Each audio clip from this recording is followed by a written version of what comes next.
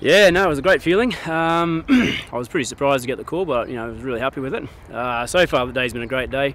I think uh, the Titan Cup is, you know, there's a lot of good golf days out in the Middle East, but it's, you know, probably one of the better ones so far I've been to. So, I suppose we can just go with our with our group. Um, the two guys we're playing are pretty pretty solid golfers. It's all pretty. I think we're pretty level. We're pretty even sort of thing. So, just for me and Steve to um, come back and try and win it now. So, it should be good fun. But we're looking forward to it. I think the course is in super condition. It's like you know one of the best kept courses out here, sort of thing. So, tough greens, but great fairways and that sort of stuff. So it's also you know great to have Tony Jacklin and Bernard Gallacher here and Olivia and Carly. Um, we had a good clinic there this morning, sort of thing. So you know, learned from those guys and just you know they're, they're super professionals and that sort of stuff. So it's um, uh, great to have those guys here as well.